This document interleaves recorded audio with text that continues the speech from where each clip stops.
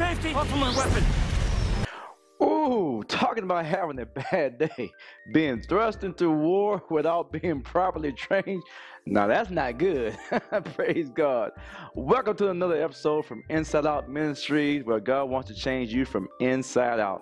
I'm Minister Hugh Braxton, aka gym preacher, with another Kiss episode. We like to keep it super simple. Welcome to my gym. That would be God, you, and me.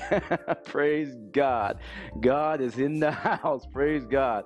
Hey, you know, as a believer, sometimes we're not properly trained sometimes, and we can have like bad days like that. Let me give you an example you think is a bad day. I mean, I mean, sometimes people get a bad report from a doctor. Sometimes, you know, your finances not right. That's not good. That's not kingdom. That's not what God wants you to have.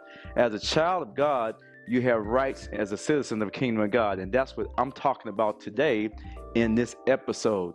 You know, Jesus assured us that we could be overcomers. He says, do not fear the world because I have overcome the world. So therefore, you don't have to worry about this, but you need to learn how to be an overcomer. And that's what this episode is about, about you being properly training, meaning henceforth, that's why I'm bringing you back to the basics, but in kingdom training, that is. I mean, I was trained in Christianity, but I never was trained in the kingdom.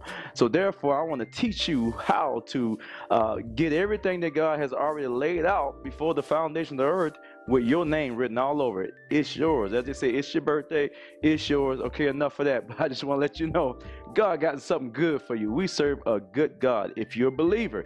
If not, I invite you to come and get part of this citizenship called the kingdom of God by accepting what his son did on the cross. We're going to talk a lot in this episode. There's going to be several series. We're going to teach you how to properly pray. You know, what, what do you do when you get a bad report? How do you respond with that? How about marriage, marriage life? How about finances? Hey, that'll get you going. Relationships. God already has the answer in his constitution called the Bible, basic instructions for you leave earth. And this episode, I'm telling you, this is the one I've been waiting for to really get out to God's people to let them know how you can live a victorious life. I know you've heard it over and over again without having the victory. Well, maybe you're starting from the wrong position, and that's why we got to go what? Back to basic training. We got to get our training on. You haven't been trained. God says, training the way a child should go. Well, I'm going to behave myself, but these some of the scriptures we're going to take a look at how God took training very seriously. But we must be properly trained and prepped for battle. You know, your battles now, don't get me wrong, you don't war against flesh and blood. We know about that in my other series I taught you, but you war in the invisible realms, principalities. You know, Satan is the ruler of this world. If you see my other series on Spirit Man Part 1 and 2, you need to go check that out, let you know that there's another person who's trying to ruin your life. You have an adversary, you have a devil, you have, and he's using people, places, things, music, movies, food, everything to attack and destroy you, messing with your mind. It's battlefield of the mind. Let's go. Let's go into this new series that we will be going back to the basics and teach you how to train and how to trouble your trouble. Now, you know, get your Bibles because we're going to be in the Word of God. Jesus used the Word against Satan, and we're going to use the Word against Satan, but we're going to do it right, rightly dividing the Word of God. Let's go back to basics. Basic instructions before leave the earth. Come on.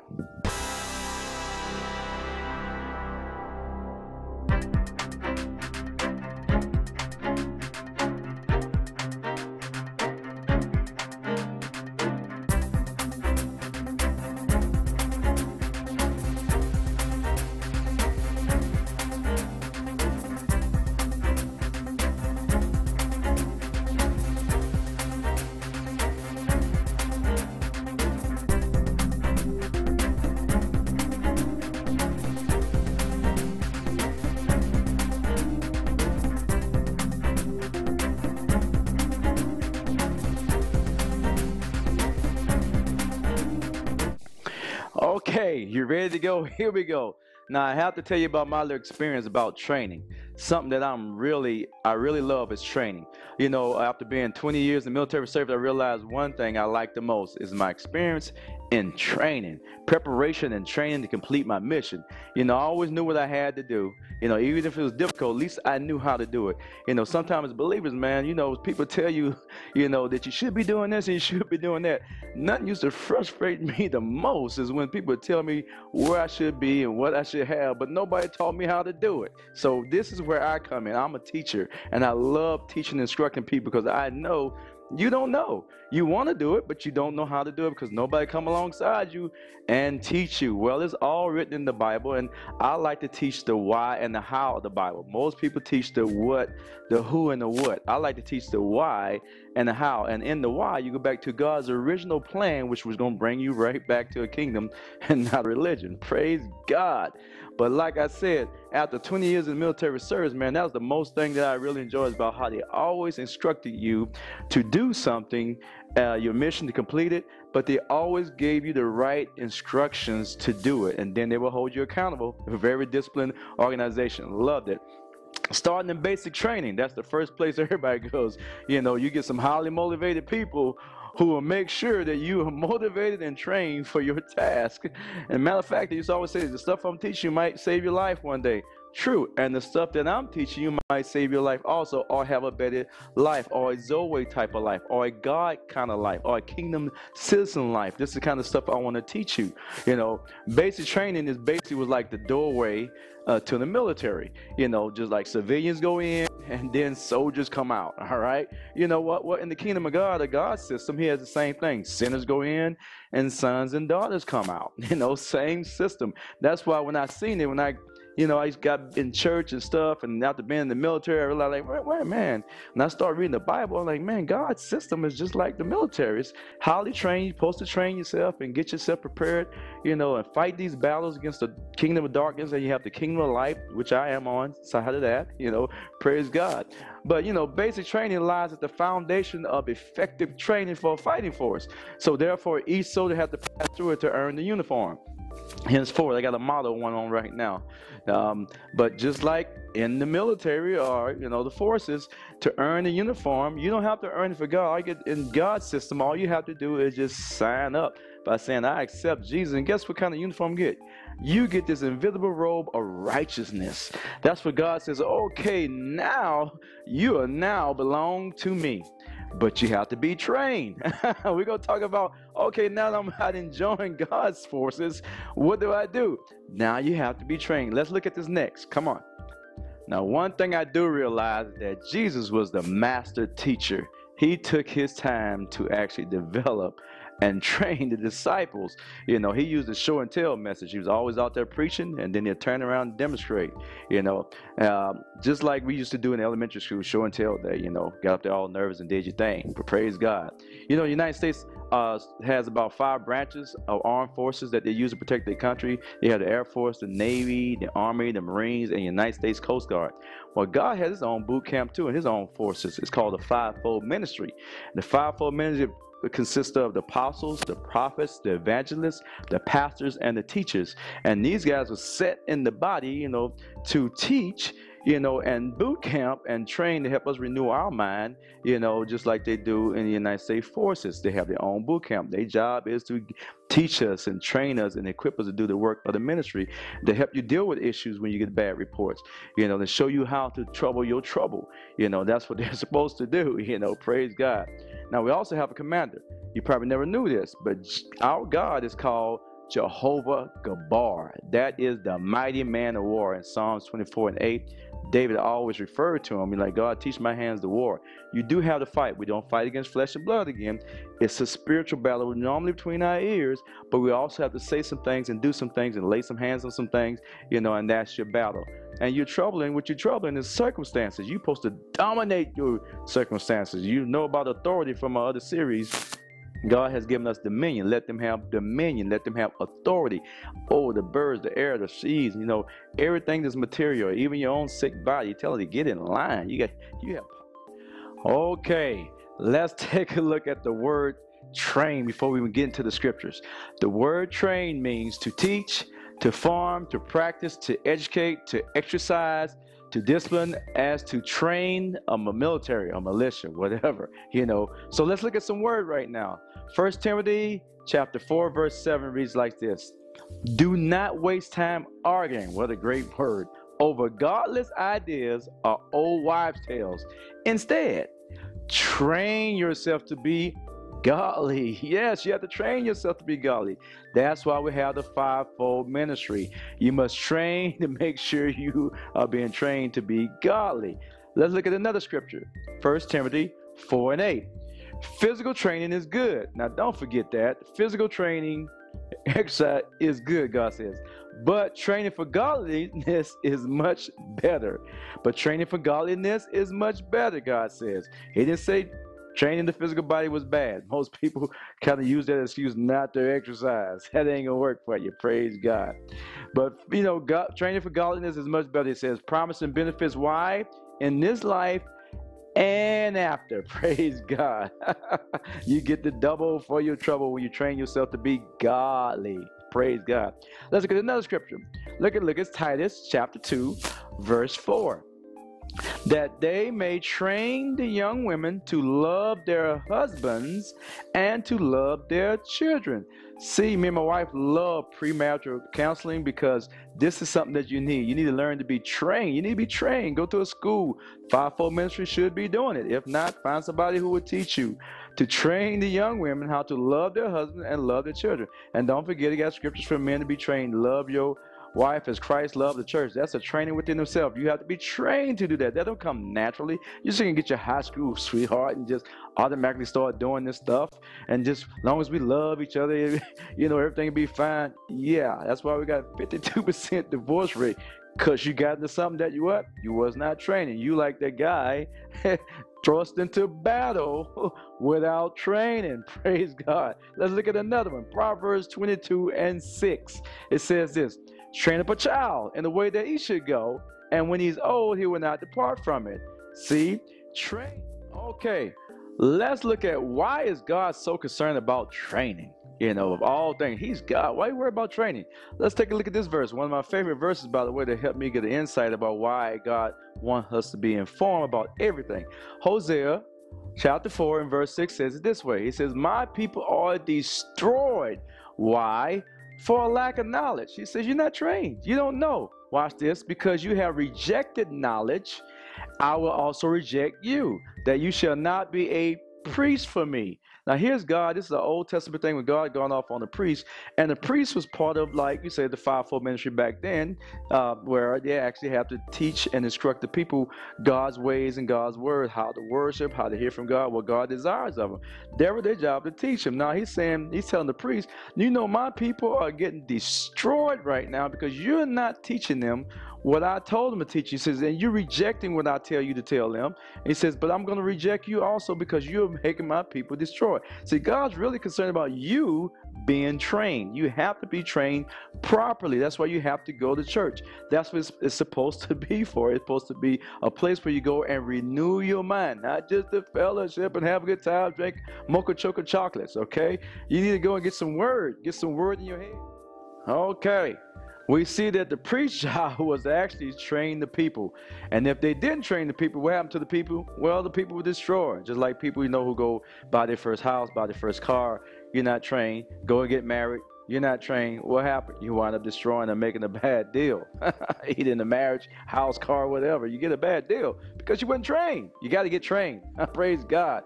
So the priest wasn't doing it. So instead of the priest teaching, you know, the people, uh, true doctrine and true manner of worship, they start taught them false doctrine and false worship and superstitions, all kinds of stuff. Idolatry, the people got into idolatry, and people said, now my people being destroyed. And he got mad at the instructors and says, your job is to make sure they're well trained. You know, we all are teachers, we all instructors. If you got kids, you automatically go there. So make sure you train the child the way it should go. And that way is through the Bible, basic instructions before they leave the earth. Praise God. Let's continue. Okay, we know that our God, our Father in heaven, is real serious about being making sure that His people is well equipped and well trained. So much that in Hosea 4 and 6, He fired somebody. He says, "I reject you.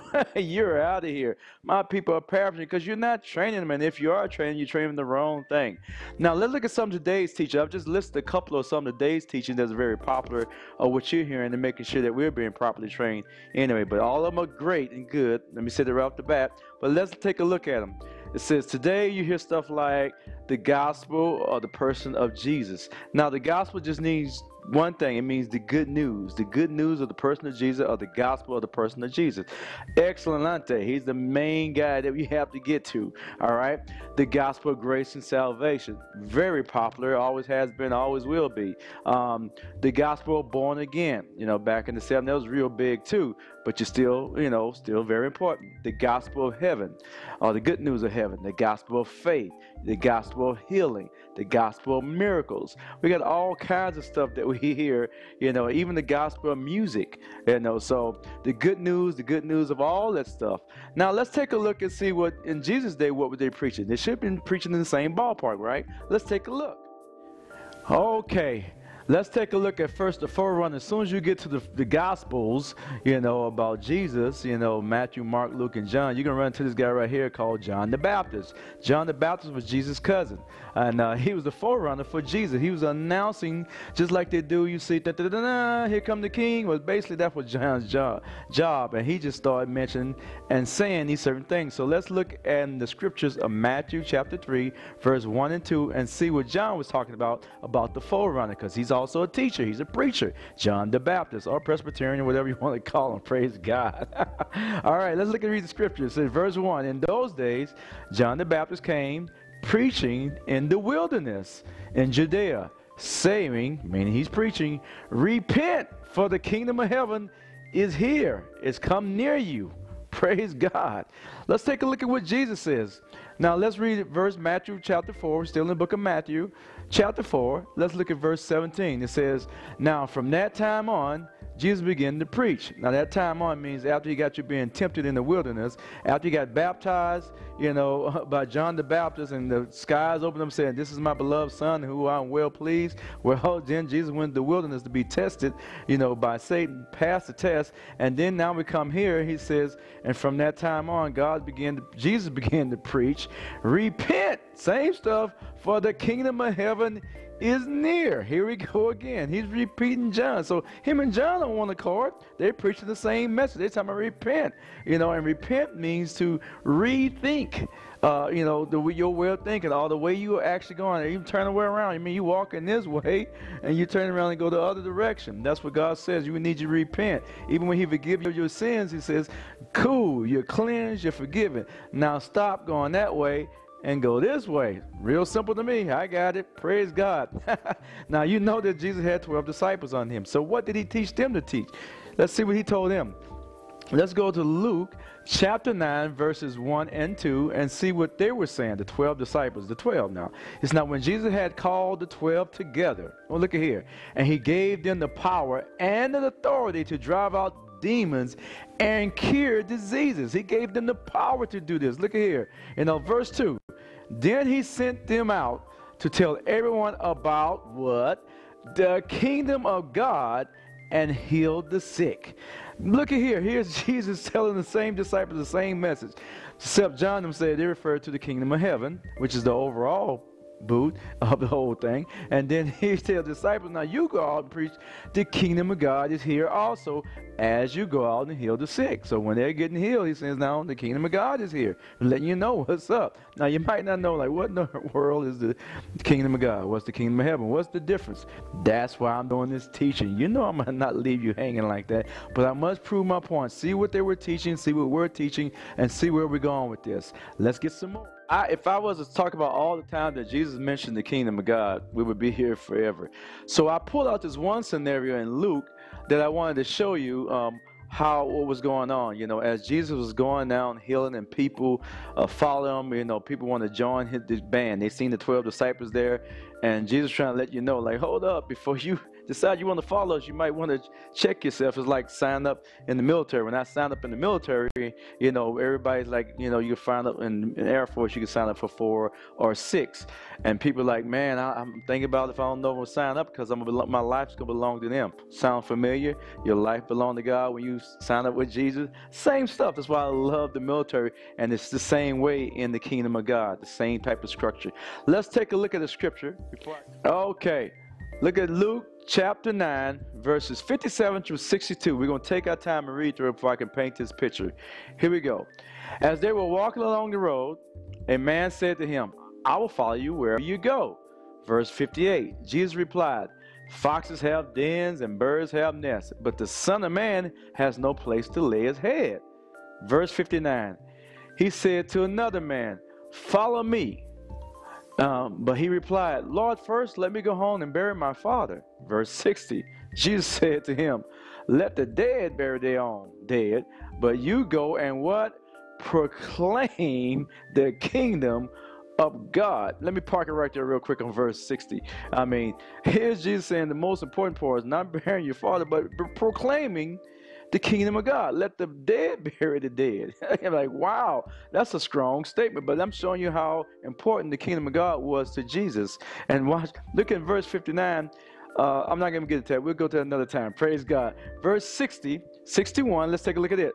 Still another one said, I will follow you, Lord, but first let me go back and say goodbye to my family. Now here's Jesus with a strong rebuke, verse 62.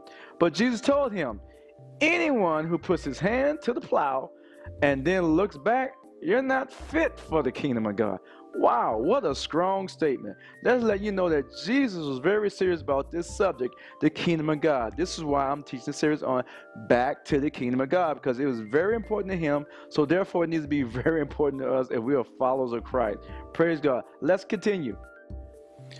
Okay, so far we have seen that John the Baptist preached about the kingdom of heaven or the kingdom of God. Jesus preached about the kingdom of heaven or the kingdom of God. And the 12 disciples preached about what? The kingdom of God. None of them talk about grace and none of the stuff that we heard so far and not modern day preaching, but they stayed on one subject. Let's take a look. In Luke chapter 10, verses 1 and 2, and then verse 9, we're going to look at Jesus commissioned 70 2. Let's check it out. Verse 1 it says this. Luke chapter 10, verse 1 says, After this, the Lord appointed 72 others, other than the 12, and he sent them out two by two to every town and place where he was about to go. So here we go. Jesus took another 72 guys, commissioned them as his disciples, and sent them out two by two to go into the cities and as his 12 took their time getting the city that these guys are like the forerunner going there. And th- let's look at verse 2 and see what he had them do. Once you get there, what did they have to do? He told them, The harvest is plentiful, but the workers are few.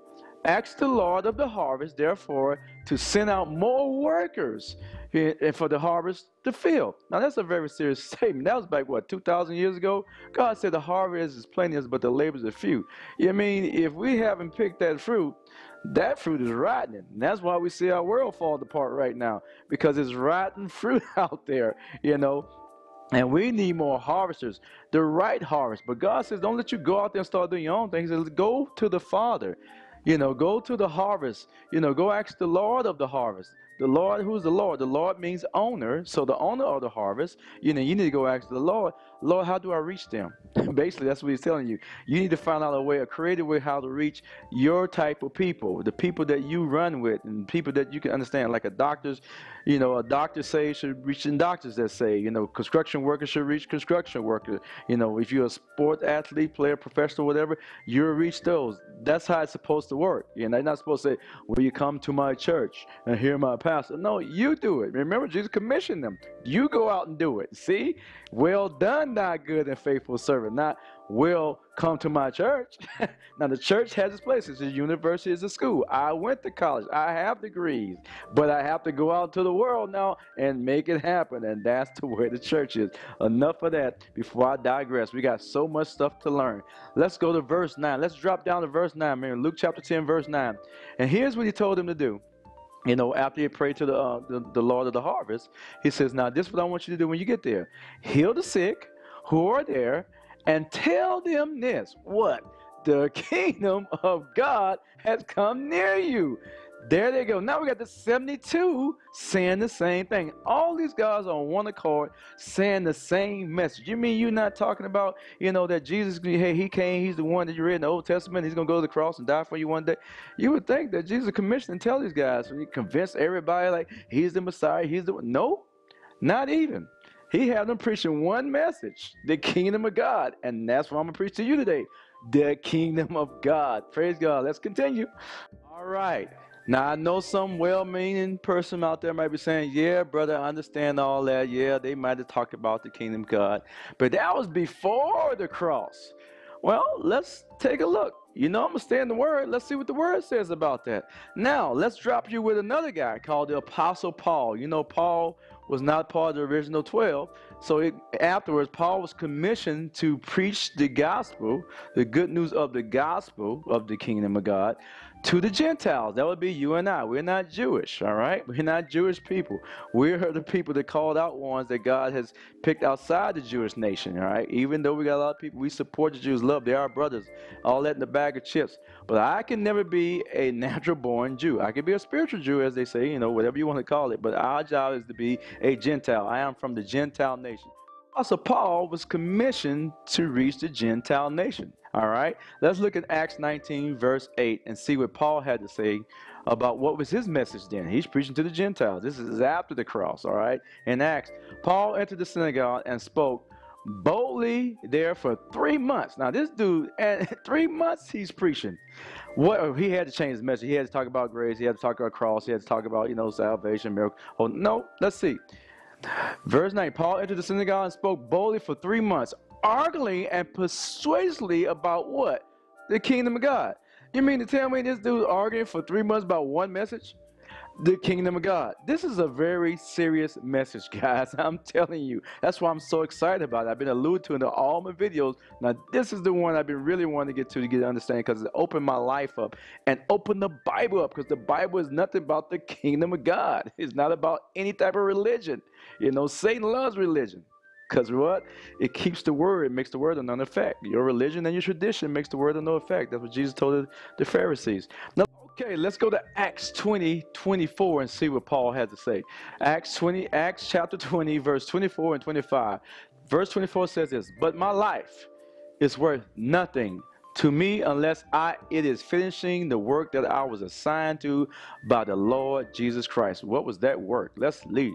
He says the work uh, that of telling others the good news about the wonderful grace of God. Now there go your grace message. He says now Paul did preach grace continue uh, talking to people about grace. And most time we talk to the Jews about that because they was always trying to bring an old system with a new. And Paul was supposed to be to the Gentiles, but since he was a Jew, he like, what about my people? What about my people? You know, he kept running back over there, and that's why you see most of the arguing all the time is about he had to keep telling about the grace of God, and he must preach the cross you know, because, you know, and God crucified because they kept saying, no, but Moses told us in the law that we, we was righteous by this, you know. So that's when he talked to him. But the Gentiles, he had to have the conversation. He just started talking about the good news of the kingdom of God and roll with it. Why? Because they had no system. They were like me. You know, I had no system, no way. I wasn't thinking about no lamb or nothing. I was thinking about tomorrow last night I painted the town red. Tomorrow I'm painted blue. You know. so when you talk to Gentiles, you're gonna have these kind of conversations. They're just gonna roll with. It. Matter of fact, they were so free the whole time we had to hold back the rain. It's like, you mean I'm good to go? God has saved me, man. In Corinthians and stuff, these people going down doing their old lifestyle. He's like, whoa, no, you're a new creature. Don't do that no more. That's how free they was. But you can tell the tone of Paul when he's talking to a Jew because he always arguing about the old law and the old. We're not in that. You're a Gentile. Oh, you just found out about this the whole point that I didn't even know there was a law. Praise God. Let's look at verse 25 and see what he has to say about this. Now I know that none of you among me whom I have gone about preaching the kingdom will ever see me again. He preached the kingdom. In that same verse, Verse 24, he talks about the grace of God, and he says, I also preach the kingdom. Let's continue. What else has Paul been up to? Because remember, he wrote a lot of letters to a lot of different churches with a lot of different circumstances and situations that you might fall in one or two of the category. But remember, these was letters, you know. It wasn't meant to be nothing that you hold on to because Jesus is my example. Praise God. All right, here we go. Here's Paul in his last days now. He's talking. He's talking because he's getting to the end of his assignment. In Acts 28, verse 23 and 30 and 31. Well, um, he is in his last days, and here is talking about, you know, he's meeting with some Jews, some Jewish leaders at that. You know, let's read in verse 28 what it says. They arranged to meet with Paul on a certain day, and he came in, they came in even larger numbers to a place where he was staying. He witnessed to them. There you go. He witnessed them. What he's saying? He got to be witness talking about the cross and everything. Let's see. He witnessed to them from the morning to evening, explaining what? About the kingdom of God from the law of Moses and from the prophet, he tried to persuade them about Jesus. Now, here's his two things he says. Now, from the law of Moses, you know, and from the prophet, he says, I'm to tell you about Jesus. Basically saying Jesus is the one that brought the kingdom. All right? He says, now he's telling you, like, you need to enter into this kingdom. Basically, you know. So he had two things going on he's talking to him because Paul is on the house arrest. He can't leave. He got no ankle bracelet. They had one back in the day, but he could not leave. They had Roman soldiers outside his place he was renting, whatever. But these Jewish leaders decided to come to his house, and he sit there and preach to them. Let's look at verse. Let's skip down to verse uh, 30 in Acts 28, and it says this: For the next two years, this brother's still working. Here we go. For the next two years, Paul, living in Rome at his own expense, because he was on the house arrest, so he had to rent out a place. He welcomed all who visited him. He says, Come on in. This is my crib. I'm renting. Here we go. Verse 31. So, what was he doing? Inviting all these people for two years, and what was he doing?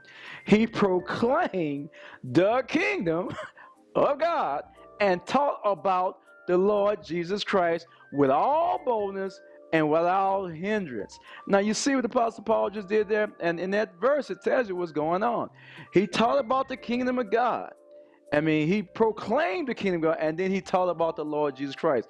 What were you saying about the Lord Jesus Christ? Was before, you know, John the Baptist telling, you know, repent for the kingdom of God is here, you know, and Jesus was telling disciples like, hey, I got to go away, and they didn't understand that either. What you mean going away, Lord? Hey, you the kingdom, what's up? You know, so, but here's Paul saying, now he could say, because Jesus has already been crucified, he was saying, you know, Lord Jesus Christ was crucified. He had to do that in order for you to enter into the kingdom. And now he had, now once you enter into the kingdom, you become part of, eh, I proclaim the kingdom of God upon your life once you accept the finished works of Jesus on the cross. And if you're a Jewish person, you have to say, now get rid of the old. We're under grace now, and we can accept Jesus Christ because he brought the kingdom. Now you need to step on into this stuff, all right? Praise God. Let's continue. All right. Now, this right here is the most exciting part of this message that I really love is about, you would think, you know, here's, I'm going to drop you in a scenario where Jesus has already been crucified. He died, he rose again, and he came back and he has shown himself over three times to his disciples, letting them know, hey guys, remember what I told you your assignment was. Don't forget it. Remember my teachings. What teachings would that be? The kingdom of God. He says, he keeps warning them about, no, I'm, I rose again, you know. He kept back and bouncing up and just appearing. They'd be doing something, he'd just appear out of nowhere. Boo. No, I'm messing with you. Not like that, but praise God. But I'm telling you, God is so good. So let's read this in Acts. You need to read your Bible. These are exciting stories. It's like a big movie to me. I love it. Let's go to Acts chapter 1 and 3. And let's see. Acts chapter 1 and 3 says this. During the 40 days after his crucifixion, 40 days later, after his crucifixion, he appeared to the apostles from time to time. Remember, I told you that. And he proved to them in many ways that he was actually still alive. You know, you know, some people still didn't get it. I mean, I guess doubting Thomas says, "Yeah, I seen that." And a couple days later, nah, I don't know, man. I ain't never seen that happen. Bless with you, praise God. But anyway, time to time again, he kept trying to say, "I'm actually alive, guys," and he talked to them about what? Go ahead and say it. The kingdom of God even after his resurrection, even 40 days later after he had already rose, he's still talking about one thing from day one the kingdom of God. You see how important it is? Now, I'm going to have to ask you, how many messages have you heard on the kingdom of God?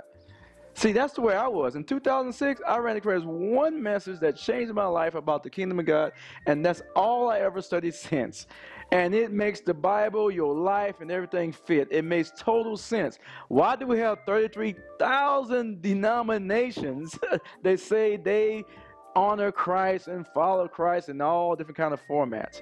Because they're not in the kingdom. They don't understand the kingdom. They understand that the Bible is about a kingdom book. And right now he says, okay, it might be about the kingdom, but I still don't know what the heck the kingdom is. don't worry. I will teach you that also. Just stay tuned with me. Let's look at this one scripture that Jesus talked about in end times when he was alive and he talked to the disciples when he's talking about the end times. It's very, you know, famous, you know, scripture that people use when he's talking about the end times. But I'm just going to drop down to the end. And God's, because asking them, you know, when would the end come? They had just got you shown the great temple, you know, the big building. You know how we get all excited about buildings and temples and synagogues. We love that stuff, a stained glass window. Our religion, God don't really care nothing about that. The greatest temple that he look at now, he says, You're the temple of the Holy Ghost. That's what Paul told you. Don't you not? You're the temple. I'm impressed with you. God's glory is inside you, not a building. So we don't get caught up in buildings. Praise God. That's why my ministry is not so much I have nothing against. We need a place to meet, but my main ministry is building people, not just buildings. We have to get the people trained because we perish.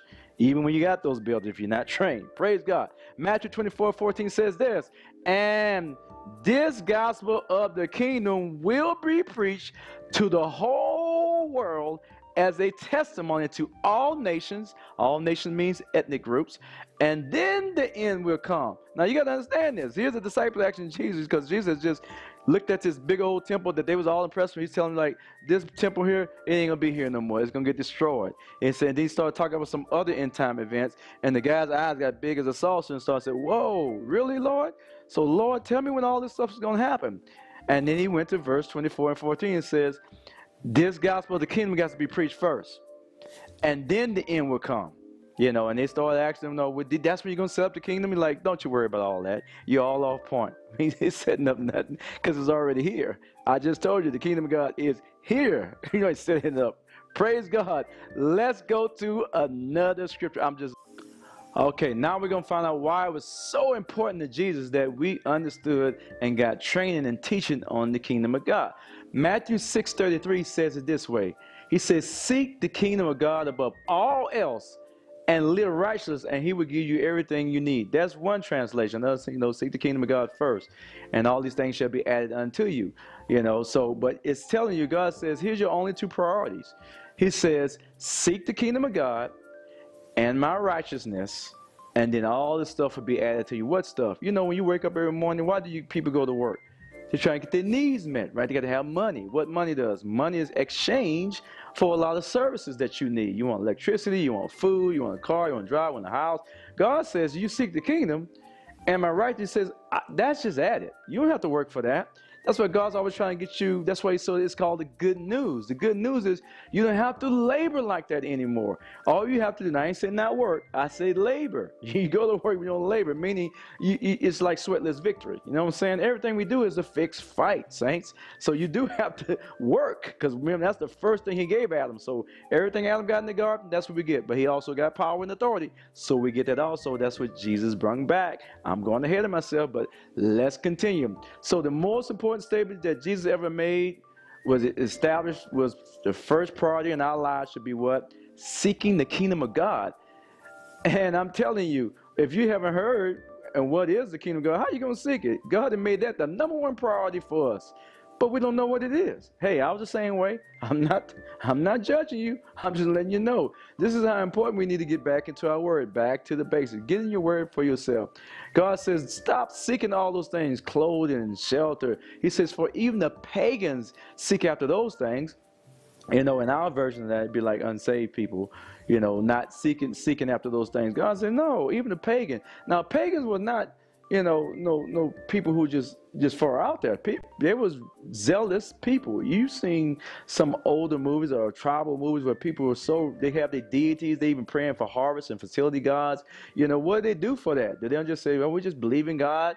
that we're gonna get pregnant. We just believe in God. The heart. No, they're out there. Someone was human sacrifice. I mean, they did hours fasting food. They was very zealous in their thing. God says that's what the pagans do. They sit around and they sit around labor and worry about how they're going to get all those needs met. That's why they worry about the rain. You know, God said in the kingdom, you don't worry about that. You seek the kingdom of God first, and everything will be added unto you. Now, I had a problem with that because I didn't understand it until I got deeper and deeper to study about what, what did that really mean. I heard what he said, but I didn't understand it.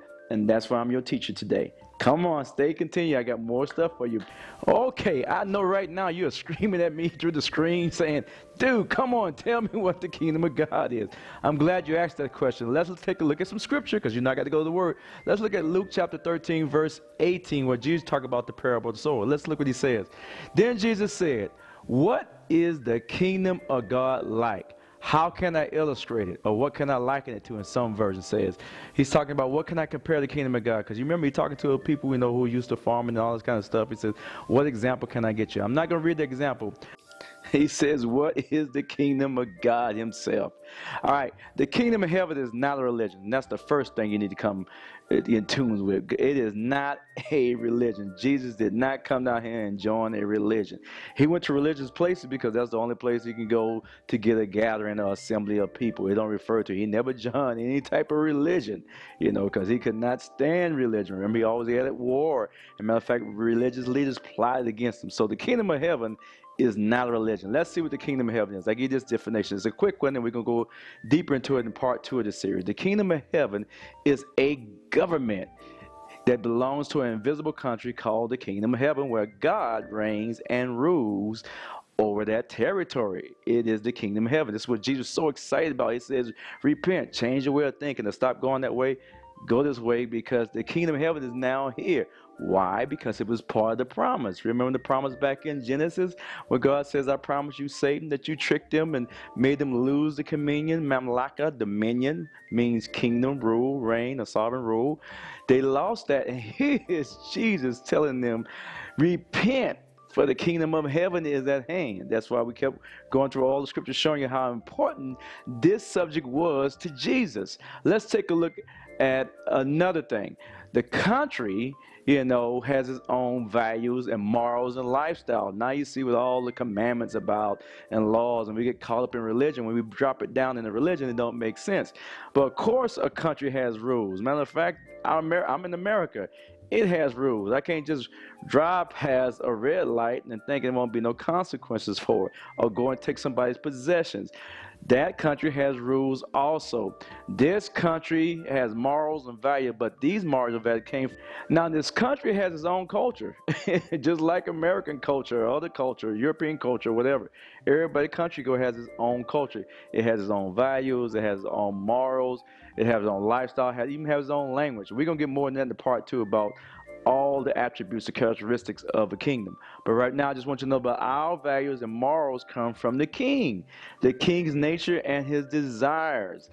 That's why you hear in Matthew 6:33, God says, Seek ye first the kingdom of God and his righteousness. That means his moral, his value, way, the way he do things. You know, sometimes we put it shortly.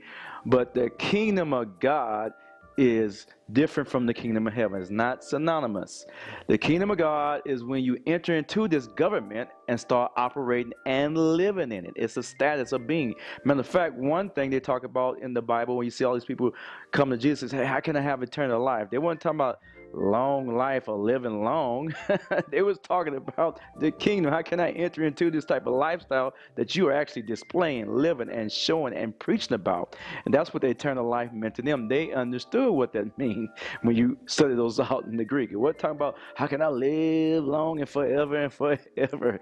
No, the kingdom of God is a way of living, a type of life. Matter of fact, the woman at the well, Jesus explained the same thing. He says, The water that I'm gonna put inside you will spring up inside you You'll never thirst again. That was kingdom. That was a lifestyle. He's saying, you know, God's talking about a lifestyle that He wants us to live continually, and the kingdom is here now. Come on, let's go further. I got some more things I want to share with you as I close this message today. Now, I have to remind you again, if you see my other teachers, we talked about Isaiah chapter 9 and verse 6, where it says, For unto us a child is born, but a son is given, the government will be on his shoulders. That government is what Jesus came and brought. It says, From day, that day forward, he began to preach, The kingdom of heaven is at hand. And the government will be on his shoulders. And Isaiah, he was already proclaiming it, showing you that he prophesied that when Jesus comes, he's going to bring something with him. He's not just going to do something, he did a lot, but he brought something something with him. And he brought something that we had already lost. That's why we see these reads in front of everything repent, restore, redemption. This is all like bring back, bring back, bring back from what? Something that you lost, something that you lost. Every single thing you hear about Jesus talking about repent, redemption, restoration, redeem. You know, all these have a re in front of. Why? Because we once had it. Adam once had it, but he lost it in the garden. This is so exciting. I'm telling you, saints, we got so much more. I know you never heard some of this stuff before, and I'm going more in depth in the teaching about it. But right now, I just want to explain in this segment about how important this message was to Jesus. You already went through when it's seen that John the Baptist preached it, Jesus preached it, 12 disciples preached it, the 72 disciples preached it, you know. Then Paul came around preaching. And don't even forget, 40 days after Jesus' resurrection, he came back, then talk about the cross, the blood, you know, grace, and all this other stuff that we hear. He taught the kingdom of God again letting them know and remind them, don't forget, don't forget, don't forget the stuff I taught you. What things did he teach you? When you go, go preaching the kingdom of God. He's talking about John. Look at it. look at another. Okay, before I get too excited again, let me get the word in you. Let's look at another verse. Let's look at Luke 12 and verse 32. Luke chapter 12, verse 32 says it this way It says, Do not be afraid, little flock, for your Father in heaven pleases him to give you what? the kingdom of God. Here we go again. God is trying to get the kingdom of God back to his people. Back to basic training. You got to get this stuff, saints. Look at the, the gospel of Christ is the door. I mean, I grew up with that. I mean, you heard it. The Passion of Christ does a great job of illustrating all the stuff that Jesus suffered to get to the door. He's not only just trying to get you, you know, to the door. He wants to get you through the door. That's why he says, "I am the door to the kingdom." Look, let's look at John 10 and 9, what it says about that. He says, I, Jesus says, "I am the door to the kingdom. I am the gateway, or the sheep gate." He says, "The thief comes in a different way if you don't come through that gate." But the gate to the kingdom of God is through Jesus Christ. There is no way. That's why he says, I am the way. I am the truth. I am the life. Thank you, God, for being all that and a bag of chips for us because we need you. We need a way. We could not restore ourselves. It took Jesus to come back, God in the flesh, to restore his people back to their original state. Genesis 1 and 2, where everything was great. You get to chapter 3, and a whole bunch of curses start and the whole world fall apart. And then Jesus started explaining through examples throughout the whole Testament about how he's going to restore his people back to this kingdom. I know you don't fully understand what all the kingdom is, but it is a government from another country. That's where you're from. You're not from this place. You're from heaven. Remember, because you came from God. And where's God from? He's from heaven. So therefore, okay, I want to give you just a little bit more scripture about what Jesus said our priority should be. But I'm going to read it in a different uh, version of the uh, scriptures this time. We're going to go to Matthew chapter 6 again, verse 30 to 33. And bear with me because I got to read this to you. But it's from the Message Bible. And the Message Bible makes it a little bit more clear. Let's read Matthew chapter 6, verse 30 and verse 33. Verse 30 goes like this It says, If God gives such attention to the appearance of wildflowers because the verse before in verse 29 he's talking about how how the lilies of the valley look so good and says even in their natural state if a man put a nice suit on you know he wouldn't even compare to what God's nature and God has provided for them. So he's trying to say, right now we're dropping to verse 30. God's talking about the same thing. He says, now just think about this. If I did that for flowers, you know, he says, if God gives such attention in the appearance of wildflowers, much most of which are never to ever be seen, don't you think he would attend to you? Take pride in you, do his best for you. What I'm trying to do here is to get you to relax. Look at God trying to get us to relax and to not to be so preoccupied with what? Getting. Ooh, that knocks out a lot. Like God says, be relaxed. I don't want you going around trying to get stuff and hurry up and get stuff. Remember, I told you my yoke is easy.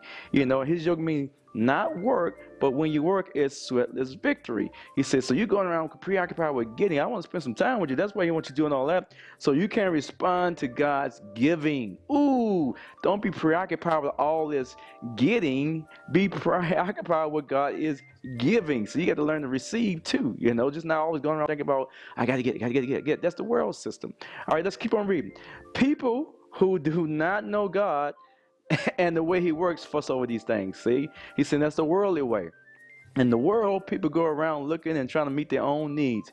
In the kingdom, you do not. The king is responsible for his subjects, which are not just peasants, they are king of kings. I mean, he's king of kings, mean we're kings also.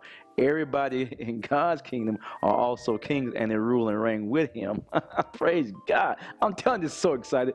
But you know, both God talking about us. We know God and we know how He works. See, so therefore, steering, steer, uh, steep your life in God reality, God initiative, God's provisions. This is what we got to do. He's telling us, do this. Don't be worried about all that stuff. Do this. Don't worry about missing out. You'll find all your everyday human concerns will be met. That is the Message Bible. I know it's a mouthful, but I wanted to read it to you, saints, to let you really understand how much God loves us and what He's trying to do for us, what He already has done for us. But you got to enter into this thing. Right? You ain't going to. You enter in. We're going to talk more about how you enter in, like Nicodemus, you know like any other country, I just told you the kingdom of heaven is a country.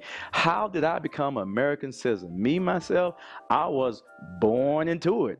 So in the kingdom of God, it's the same way. He told Nicodemus that night, you know, a Pharisee late at night, and he says, How can I get into this kingdom you keep talking about and displaying and showing and living? He says, Don't you know, Nicodemus, you're a teacher of the law. You don't even know this? He says, You got to be born again into the kingdom of God. See, we got to be born again. Praise God. That's where the born again message come in. Again, God did not put too much emphasis on the born again message. He put all this energy, time, effort about the kingdom. Because when you preach something, the kingdom of God to people, people are going to come to you at night. Hey, man, tell me more about this kingdom. When you preach the kingdom of God, more people are like, man, how can I? Like the rich friend ruler, he, rich young ruler. I'm sorry, let me slow down. The rich young ruler in the Bible came to Jesus. He had money. See, we're right now the church think they promise I need more money. That ain't what you need. You need the kingdom. and the king, you don't have to worry about it's commonwealth. I know you don't understand that, but we're gonna preach more about the commonwealth and the kingdom of how God take care of his people. All those who seek him. In Matthew 6:33, he talks about seek ye first the kingdom of God and God's ways. He's like, brother, you ain't got nothing to worry about. Hey, trust me, I did this long time ago, and all my needs have been met. I am a blessed man because I am seeking the kingdom. What? First, the first priority. As a matter of fact, Jesus said that's the only thing. In his parables, he tell you, man, when a man finds the kingdom of God, man, he uh, is like a hidden treasure in the field. And then he goes and finds his treasure, and then he sells everything he can and go by the field where he hid that treasure. Mm, mm, mm. We got more of that. I'm going to get off track, so I better leave that alone. God is so good. The kingdom of God is uh, is uh, God sending His government down here to reign. Remember, don't forget, you know, the prayer. He say, "Teach us to pray." What did Jesus say? He says, "Say, Thy kingdom come where on earth, just like what." Like it is in the kingdom of heaven. Praise God. See, he's still trying to get you the kingdom. You know, little flock, don't worry. It's God's pleasure to give you the kingdom of God. Come on, praise God. I got a little bit more. Let's go. All right. For as long as I have ever heard the church preach, it always talk about the good news of heaven, escapism, getting out of here, pie in the sky when you die, you know. But they never preach the good news of the kingdom of heaven. These two are not the same. Saints, praise God. God never promised us heaven, but He did promise us in Genesis 1:26 that, um, actually Genesis 3:15, He made a promise. He's saying that He's going to send His Son and He's going to bruise your head, He's going to bruise my feet, and all that kind of stuff. He's talking about returning the dominion. That means that word dominion means mamlaka in Hebrew, meaning sovereign rule. Also could be translated into kingdom. You know, so therefore God said He's promised a kingdom. We had a kingdom in the beginning. We're gonna have a kingdom in the end. And Jesus came proclaiming from that day forward. His first message was repent because the kingdom of heaven is near. Meaning it's at hand.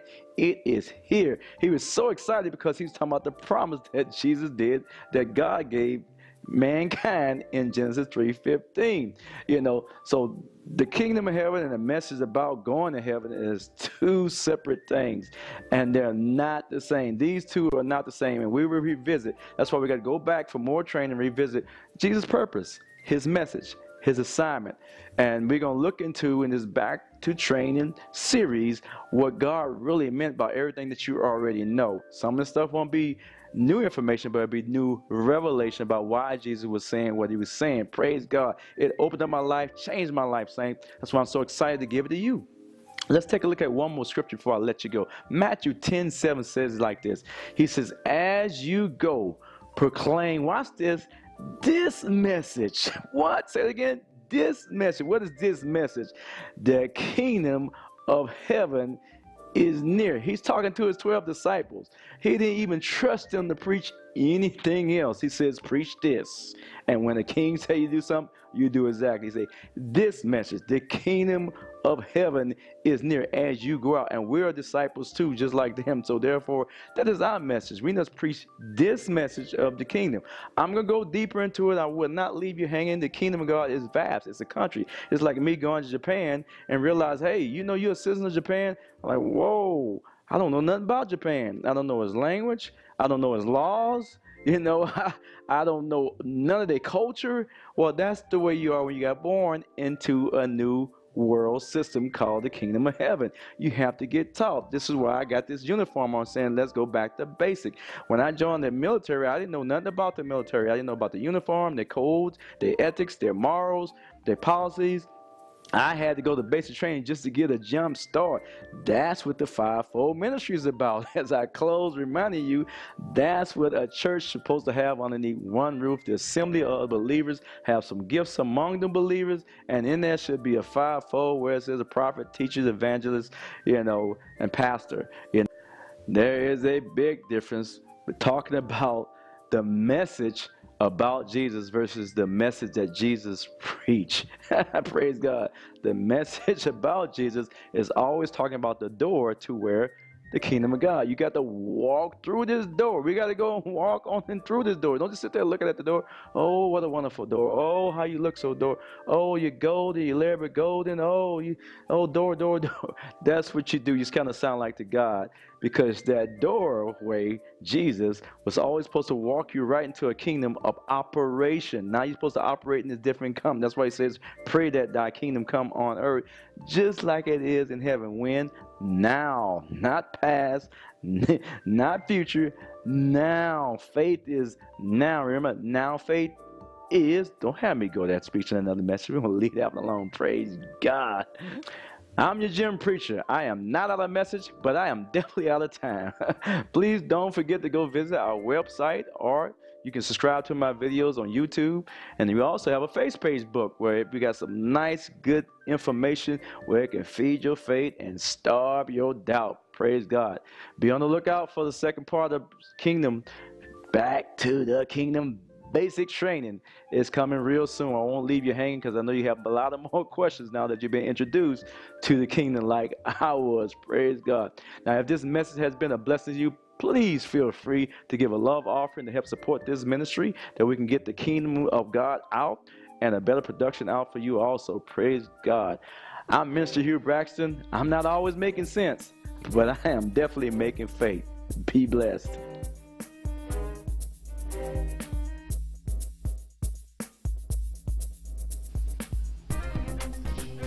Thank you for watching another Body by Brax production from Inside Out Ministry. From Inside Out Ministry is a faith-based nonprofit organization based in the greater metropolitan area of Phoenix, Arizona. We're helping transform lives from inside out using social media network. The focus is on building people, not buildings. Welcome contributions can be made from Inside Out Ministry P.O. Box 300, 7942 West Bell Road, Suite C5 300. Again, thanks for watching another Body by Brax production.